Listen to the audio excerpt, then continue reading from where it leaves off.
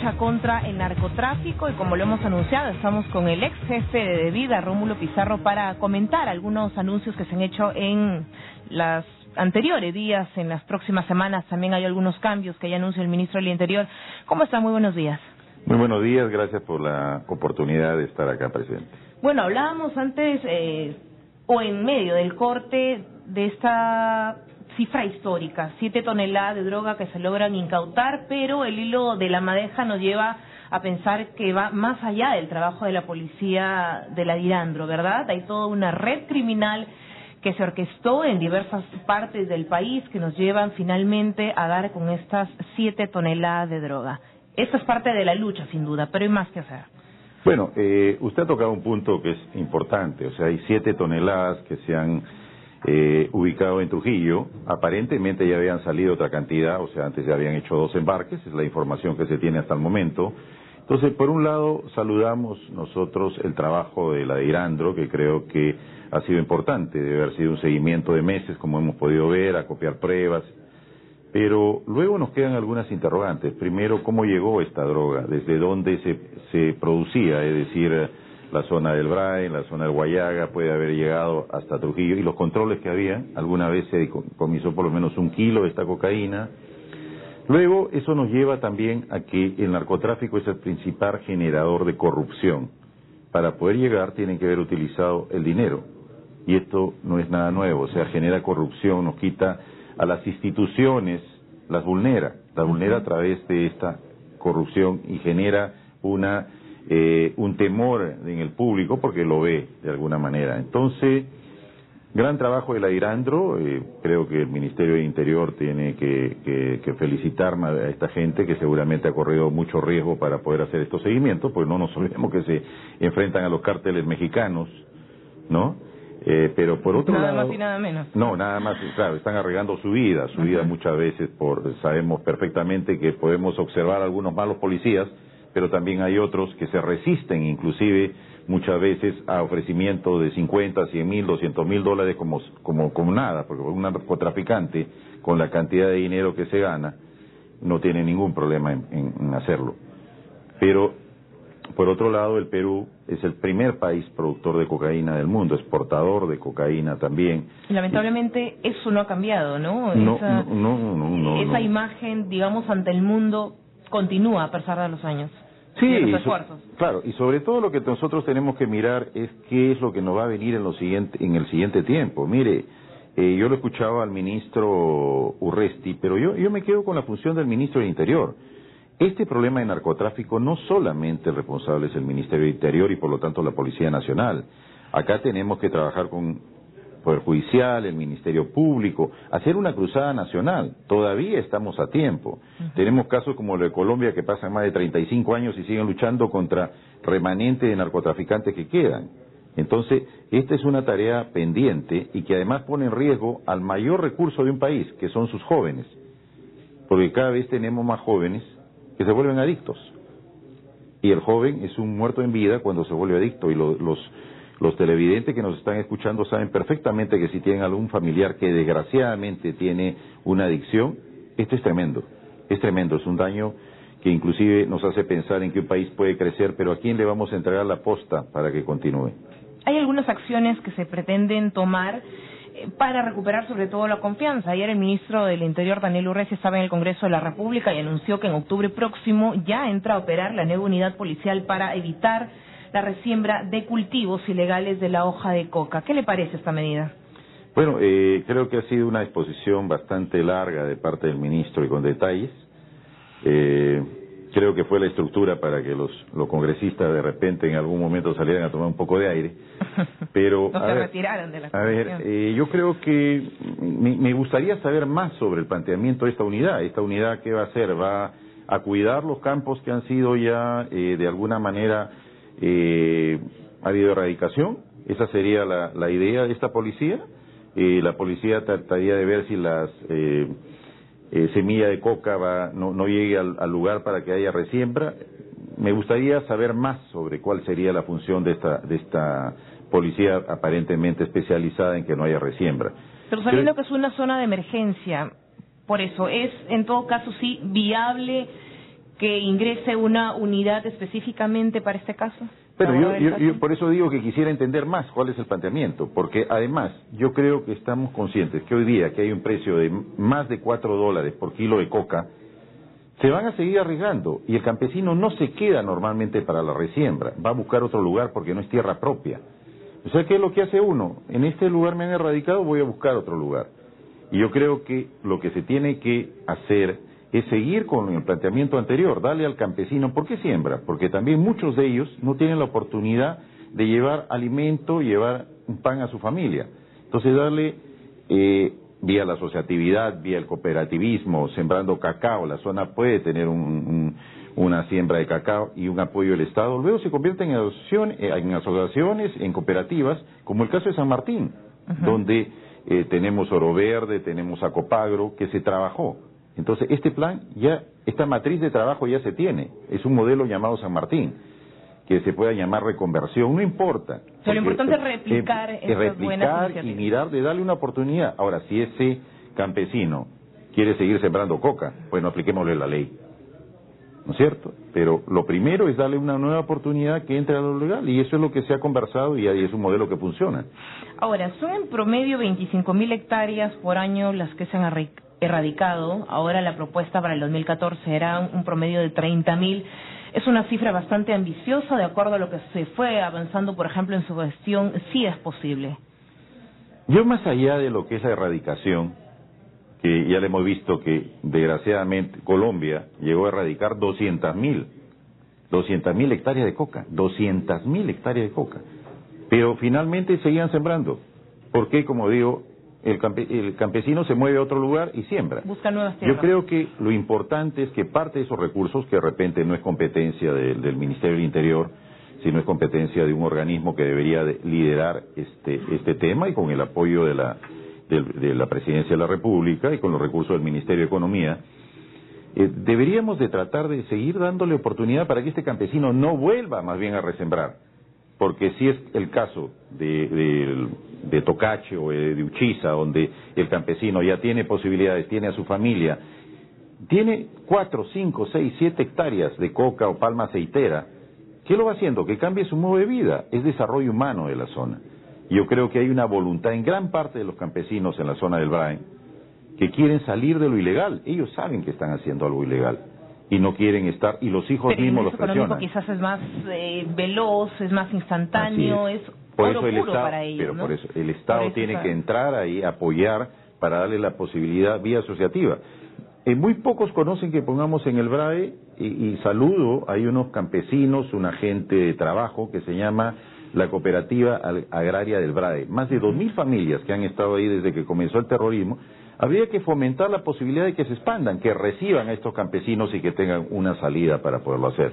Yo creo que, eh, si bien es cierto, vamos a comprar cuatro mil patrulleros inteligentes, ¿no? Eh, yo creo que parte de estos recursos deberíamos de también de ver la posibilidad de trasladarlos para que esta gente tenga una oportunidad de trabajo vía la asociatividad y vía las cooperativas que se pueden armar en la zona. Y hay un esquema, es cuestión de seguirlo. El apoyo también que se tiene de la comunidad internacional es muy importante y eso no lo podemos pasar por alto. Hace poco la ONU destacó el avance de la lucha antidrogas del Perú, que ha sido el más exitoso, según reportan, de los 14 años, de los últimos 14 años. ¿Cómo, está, ¿Cómo se está avanzando con este apoyo de Estados Unidos, de Europa especialmente, que llega hacia el Perú? Yo escuché eh, al presidente una mala referirse de que este es un problema que tiene el Perú y está dentro de nuestras fronteras, ¿no? Es un problema nuestro. Yo creo que el mayor enemigo que tiene el Perú es el narcotráfico, porque además genera la corrupción que hemos estado hablando hace un momento. Eh, yo creo que es importante que primero nosotros nos demos cuenta que tenemos que poner recursos, porque a la larga estamos haciendo un ahorro. Lo preventivo que hagamos ahora no nos va a costar en vidas humanas hacia adelante. No nos olvidemos que México en, del año 2005 al 2013 tuvo más de 80 mil muertos. Y todos los muertos que tuvo Estados Unidos en la guerra de Vietnam llegaban a 60 mil. ¿no? Eh, imagínense, ocho años y la guerra de Vietnam fueron diez. Entonces, yo creo que es importante que pongamos recursos, es importante que, por, eh, que, que demos la imagen al mundo de ir adelante y que también bajo el tema de la responsabilidad compartida, principalmente ahora trabajar con Europa, porque nuestra cocaína, el destino final es Europa principalmente. Y Estados Unidos lo, lo, ha dicho varias veces que, claro, su prioridad es de donde le llega, y eso no quiere decir que deje de, ayudar al Perú, pero tenemos que mirar a Europa, que es donde va toda nuestra cocaína. Está en Inglaterra, está en España, en Francia. Hemos visto inclusive eh, que la policía eh, de Inglaterra, SOCA, que se llama la SOCA por sus siglas en inglés, eh, nos mencionaba que el gramo de cocaína en las calles de Londres tiene 9% de pureza. Todo lo demás es insumos agregados que pueda tener y que comenzaba no solamente a dar la adicción a un joven, sino a envenenarlo. Entonces, ellos tienen una preocupación. Esa preocupación es la que nosotros tenemos que tratar de compartir dentro de esta responsabilidad, porque si bien es cierto, tenemos el daño de ser productores, pero no es tampoco un tema donde no hubiese productores, es que no hubiese al otro lado también consumidores. Por supuesto. Y por ejemplo, cuando de vida vayas estos trabajos de campo, conversa directamente con las familias, les plantea estos programas alternativos, ¿sí se nota disposición por parte de los campesinos que tienen algunos cultivos ya perennes en la zona y que les da frutos? Porque a veces el cambio de percepción, el cambio de vida cuesta, sobre todo para un campesino que tiene arraigo y que se ha dedicado posiblemente a lo ilegal por gran parte de su vida. Sí, yo lo he escuchado inclusive eh, al presidente de Vida, a Alberto Tarola, eh, sobre ese tema, que los campesinos tienen la voluntad. Siempre se ha notado una voluntad de ellos de querer entrar a lo legal. Eh, a nadie quiere poner en riesgo su familia, a sus hijos, si hay una oportunidad de, de tener la salida.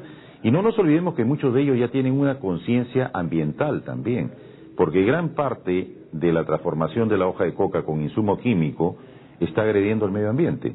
Va esta cantidad de petróleo, gasolina, acetona, dependiendo de lo que vayan a usar, va a dónde? Al suelo, una vez que termina de macerar la coca.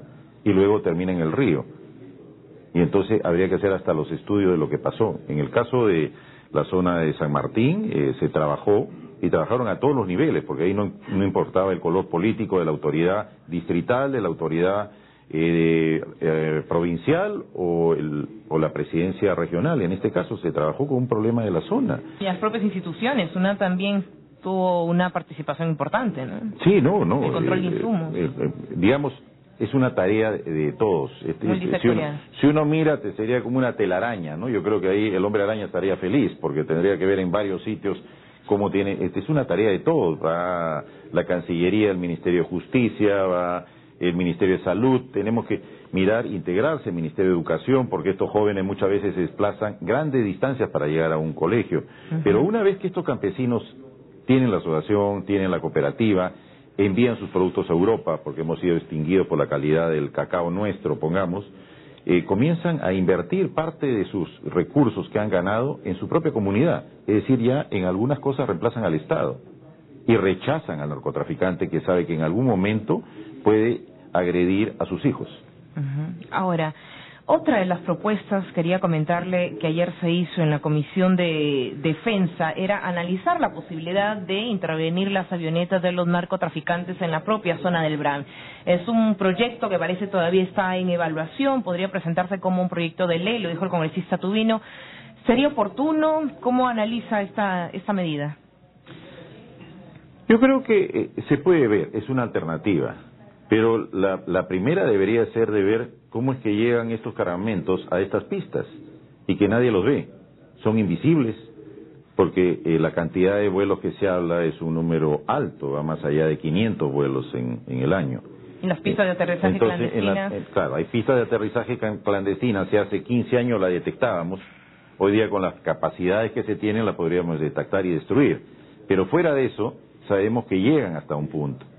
Entonces, ¿cómo llegan? De repente tendríamos que mirar de hacerlo en tierra, combinado con trabajo de inteligencia. Yo creo que hay que reforzar, y esa es una sugerencia dada al, al ministro, al Ministerio del Interior, ¿no? que por lo menos doten más de recursos a la parte de inteligencia de la IRANDRO, para poder saber dónde van estos cargamentos, estos mochileros que llegan hasta los puntos donde aterrizan las avionetas y salen hacia Bolivia y luego de Bolivia pasan hacia Brasil y salen hacia Europa. Esas son rutas que más o menos están conocidas. También, por supuesto. Eh, claro, ahí tenemos un, ahí tenemos un problema, pongamos, la zona del Putumayo. No nos estamos dando cuenta que ahí hace años crecieron 200, 200 hectáreas, hoy día estamos en mil y pico de hectáreas en la zona del Putumayo, frontera con Colombia, y que los apus de la zona dicen que ellos no la siembran.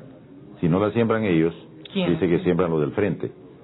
Y si siembran lo del frente, entendemos que deberían ser lo de la FARC.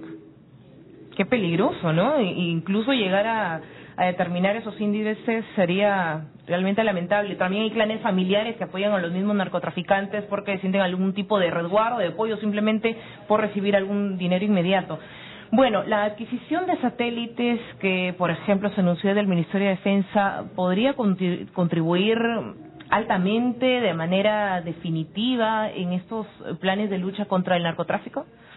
Yo creo que podemos tener toda la ayuda necesaria que nos pueda, que podamos tener, pero lo importante es contar con lo más importante de todo ello, con los hombres que van a dirigir esta esta lucha.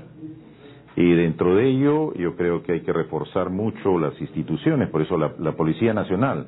He escuchado atentamente patrulleros, computadoras, de repente hay que, hay que sumarle comisarías, porque el ambiente de trabajo es muy importante, infraestructura. Pero yo creo que la autoestima de la policía y de los policías y nosotros como ciudadanos tenemos que distinguirlo, porque él es una persona de la Fuerza Armada. Él es un ciudadano como nosotros que en la mañana, en la noche llega a su casa tiene los problemas de cada uno de los ciudadanos y el día siguiente se pone un uniforme y sale a defendernos. Tiene los problemas de, de, los pagos, de los colegios, igual que nos sucede a nosotros.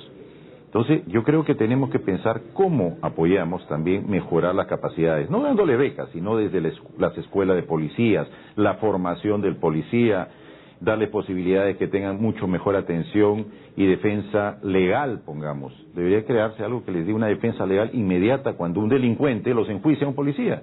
es increíble. El, delincuente enjuicia al policía y el policía no tiene cómo defenderse.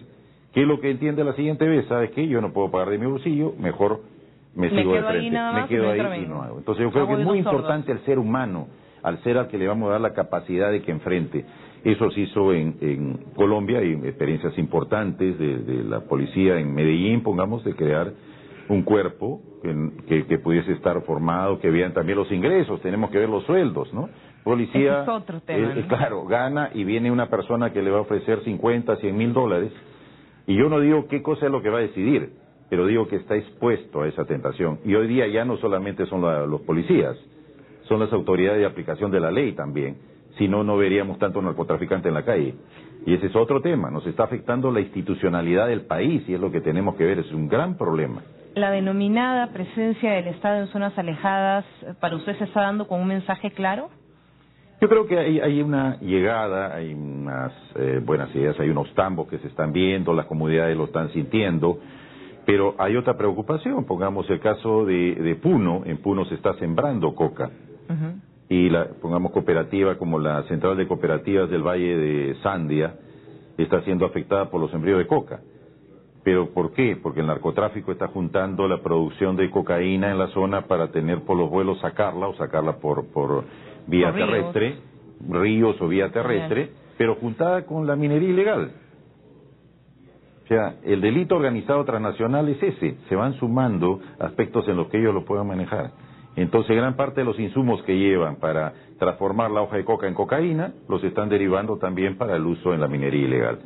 Claro, entonces uno diría, oye, pero por todos lados nos ataca el narcotráfico. Sí, pues, es una guerra desigual, porque ellos ponen todos los recursos y utilizan otra de las partes de lo que se llama el delito organizado transnacional para eh, hackear a los estados. ¿no? Pero el problema es cuando logra traspasar fronteras, ¿no? ¿Cómo pasó? O sea, el control también, el tema del control es un tema muy engorroso, muy preocupante. Es, que es, no es nada fácil. Nuestra matriz y nuestra vista debería ir a lo que pasó con el caso de, de Colombia, lo que está pasando con México, la violencia que sacude a México eh, y el esfuerzo que hace realmente el pueblo mexicano para allá adelante. Y todo esto de una u otra manera afecta a la economía. En el año 2009, pongamos el presidente de la Coparmex, que es la, el equivalente a la CONFIEP de Perú, dijo que 12.000 empresarios mexicanos, eh, perdón, 12.000 empresarios habían salido de México por los riesgos de seguridad. Entonces yo Eso entendía... Quiere decir que no hubo una confianza, ¿no? Claro, pero además yo entendía, pero ¿por qué? no La pregunta era ¿por qué? ¿Y por qué habían salido? Una era porque todos tenían que ir con guardaespaldas, una moda que está comenzando a darse en el Perú y que crea inseguridad también en la gente, porque ven unas armas que salen de los carros, que va adelante. Y creo que el hecho no es que no tengan armas, sino hay que regular lo que hace normalmente un seguridad de una persona. Pero él decía que lo, ese precio de tener guardaespaldas para los gerentes, para el gerente general, para los empleados importantes, todo eso, ¿a dónde lo, tiene que poner? En su producto. Y ya el producto deja de ser competitivo. Entonces tiene que buscar otro mercado donde no tenga esos costos adicionales a la producción. Entonces el narcotráfico también afecta la parte de economía y además el otro tema es cuando uno honradamente, una familia pone un negocio mediano y al lado le viene otro que es para lavar dinero. Entonces dice, oye, pero si yo estoy vendiendo a 50 soles y gano 10, este lo vende de la ley, así está 35 y nadie dice nada, porque además están lavando el dinero y quiebran finalmente, ¿no? Bueno, es una lucha realmente articulada, organizada. Vamos a ver qué nuevos anuncios se van a hacer y qué nuevas labores se van a emprender. También muchas gracias, señor Rómulo Pizarro, por su presencia en el programa, ex jefe de De Vida, conversando sobre la lucha contra el narcotráfico y también todas las tareas pendientes. Momento de hacer una pausa. Regresamos en breve con más información.